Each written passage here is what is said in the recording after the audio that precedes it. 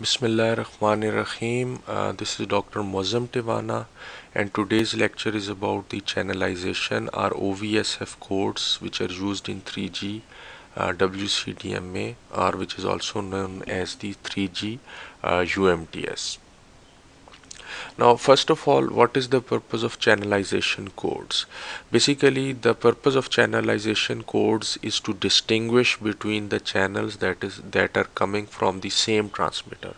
For example in the downlink it is the mobile uh, node B or the base station uh, which is the transmitter and here we can see that there are seven channels in the downlink so in order to differentiate between these seven channels they will be each assigned different channelization code. Like we have channelization code 1 here for the first channel channelization code number 2 for the second channel channelization code number 3 for the third channel uh, and channelization code 4 for the fourth channel as they are coming from the base station. So we have seven different codes for seven uh, these seven different channels and these are channelization codes.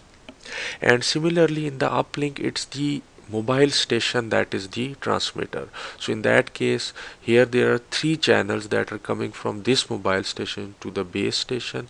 So in order to differentiate these three channels coming from this mobile station we assign the channelization code number one to the first mobile uh, channel channelization code number two to the second channel and channelization code 3 to the third channel. And when we have this mobile it is as it is a different transmitter so we can reuse these channelization codes.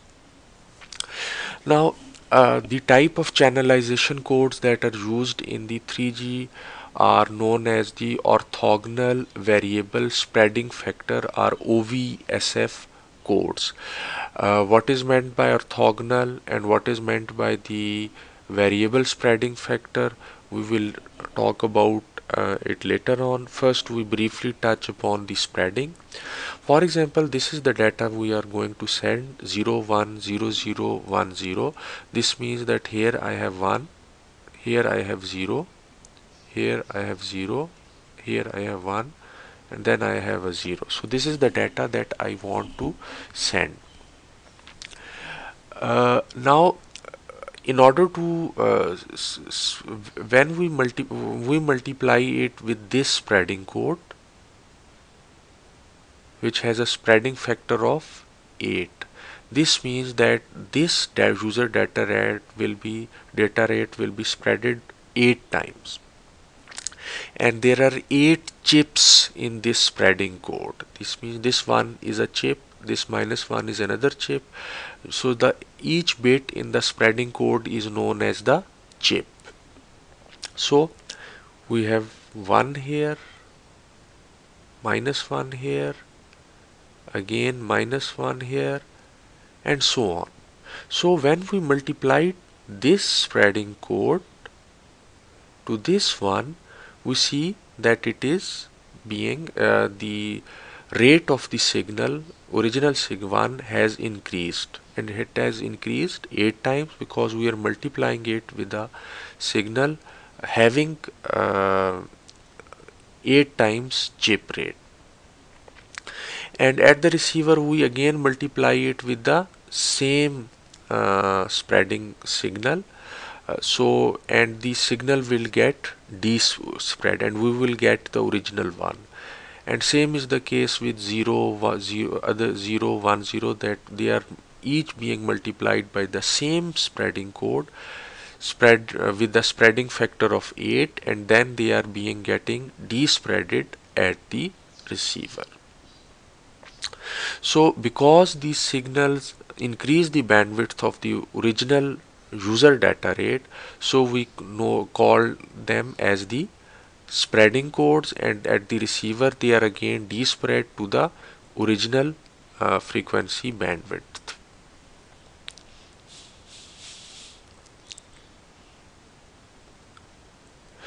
Now we come to the question that how these spreading codes are generated. For example, we have the uh, one is the first spreading code and as there is one chip in this code uh, so this means that uh, um, it its spreading factor is 1 this means it is not spreading the signal so in order to increase the spreading factor of this code uh, we have to increase the length of this code. This means we have to have more chips in this code. So for example and how we do we increase its uh, length? Basically we use matrix operation to uh, generate the longer spreading codes which have uh, higher spreading factors. For example uh, here in order to increase its length we will make another matrix which is h2 and each this h2 matrix would be made by h1 matrix by putting h1 matrix here h1 matrix here h1 matrix here and the uh, negative of h1 matrix here. So when I do it here I get 1 1 1 and then the negative of h1 minus 1 so here I can see that there are two chips in these codes. So this means that this code has a spreading factor of 2 so this code has a spreading factor of 2 and if I want to further increase the spreading factor then I have to do the uh, and I, I increase it by two times means I have a code want to have a spreading factor of 4 so what do I do? I will uh, do the same operation with H2 as I did for H1 to generate H2 so I put H2 here H2 here H2 here and minus of H1 here so here I, uh, I have so I get four codes.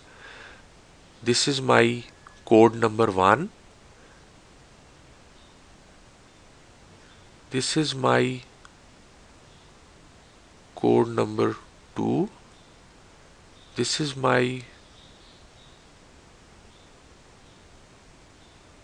code number 3 and this is my code number 4 and here I uh, in this case I had two codes. This was my code number 1 and this is my code number 2 with a spreading factor of 2 and these four codes have a spreading factor of 4 what is meant by these codes are orthogonal? For example I multiply this 1 these two codes 1 1 1 and minus 1 1 minus 1 I multiply them. 1 1 1 minus 1 1 minus 1 so I you see I have equal number of ones and minus 1 so if I add all of the, them I get 0 this means that if I multiply and add any of two codes in this matrix, I would get 0. Similarly, if I multiply these codes and add them, the answer is 0.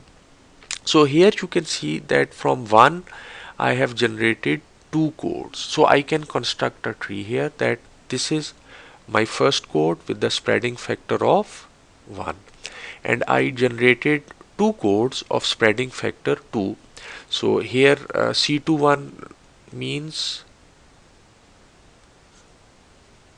spreading factor is equal to 2 and it is the first code C22 spreading factor is 2 and it is the second code. And then uh, after that you can see here that from 1 1 I can have this code. And from again from 1 1 I have this code. So I am generating two other codes from 1 1 so this means that from 1 1 there are two daughter codes uh, it generates two other codes. And similarly 1 minus 1 here uh, has generated this code and 1 minus 1 has generated this code. So I get a tree. So one peculiar feature uh, of these codes is that all the I cannot use the codes in the same branch uh, same path. For example if I am using this code then all its uh, further branches like this code I cannot choose this code I cannot choose. Why is that?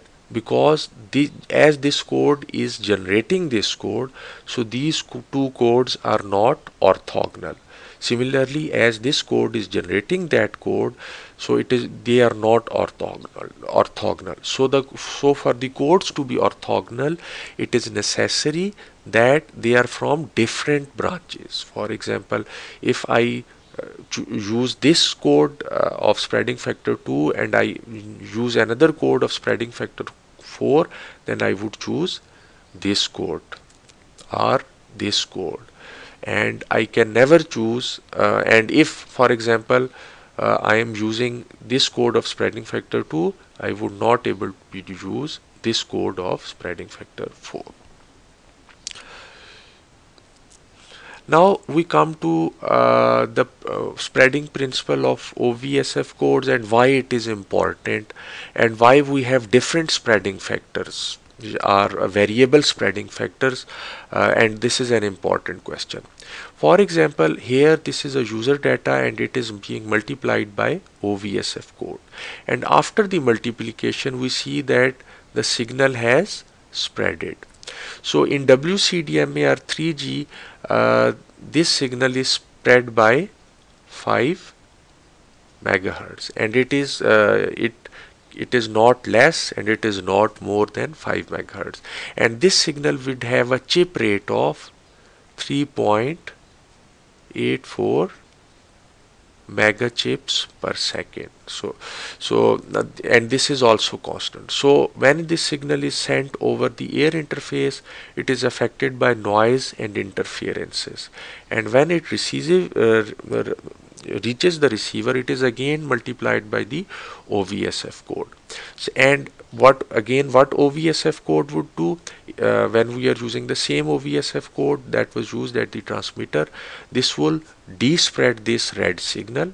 Uh, it would despread uh, this green signal sorry this would green uh, despread this green signal and we would get the original signal that we want and that was transmitted at the signal uh, at the transmitter. But at the same time uh, the noise and the interference they would get spreaded.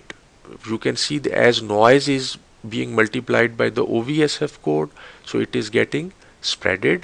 And similarly interference would also get spread because it is being multiplied by the OVSF code. So we get a gain between the uh, signal that we intend and noise and interference. This gain is the processing gains. This means our required signal is this much higher from the noise and interference.